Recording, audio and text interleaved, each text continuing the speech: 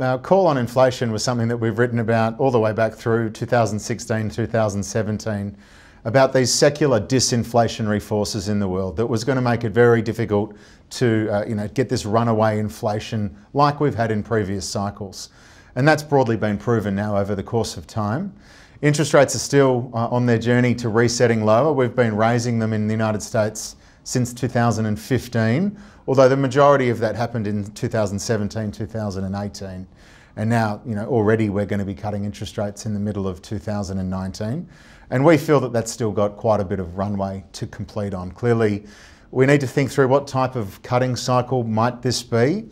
If it's a cutting cycle like uh, 1987, 1995, 1998, they were insurance rate cutting cycles where we didn't have an economic recession thereafter uh, and, and, asset markets kept on keeping on. Uh, but if it's something darker like uh, you know, a 2000 or a 2007, 1989, uh, then we're going to need material interest rate cuts. And in those cycles, we've needed 300 to 500 basis points of interest rate cuts.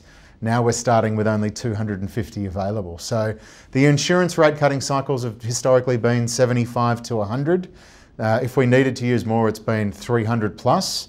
And so there's a lot of discussion in the market at the moment about what kind of rate cutting cycle will this become. Clearly, if it is that insurancy cycle, then it's probably pretty good for risk markets and, and they'll enjoy that.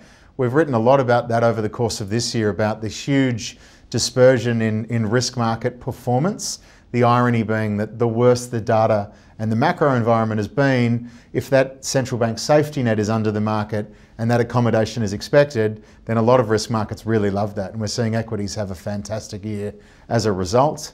Uh, but clearly, if there's a darker cycle to that, and that really is led by the credit cycle, then we could be looking at something more akin to, uh, you know, not as, as severe as 2008, we don't think, but um, you know, certainly uh, you know, darker and deeper, and there could be some capital destruction, which we haven't really seen for a, for a good period. We've had little flirtations with it, like Q4 of 2018, where people got a stark reminder of what is actually behind that curtain without this constant volatility suppression and accommodation from central banks.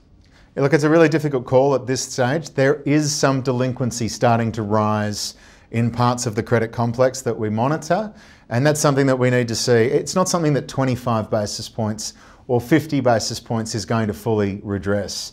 You know, the build up of those rate hiking cycles takes a very long time. If we think back to the last cycle, the Fed were hiking from June 2004 to June 2006.